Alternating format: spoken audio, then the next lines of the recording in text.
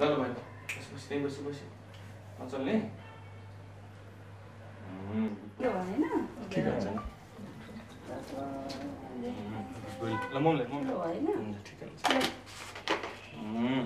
ल बस है त्यहाँ गर गर्ने अनि भिडियोमा उनीहरूलाई टिकामाला सहित होइन मिठो मिठो उनीहरूले खान मिल्ने कुराहरू खुवाएर सेलिब्रेट गर्छौँ। मान्छे र यो कुकुर बिचको सम्बन्ध चाहिँ अझ गाह्रो होस् अझ राम्रो होस् भनेर चाहिँ उस उनीहरूलाई स्पेसल फिल गराउन लागि आज पूजा गर्छौँ।